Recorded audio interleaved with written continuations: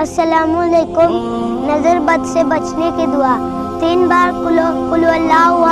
और तीन बार क्लोज बिरब्बिन नास, और तीन बार क्लोज बिरबी फलक पढ़कर अपने हाथों पे फूक ले,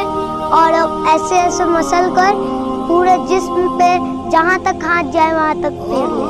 इंशाअल्लाह, अल्लाह हम लोग को, हम लोग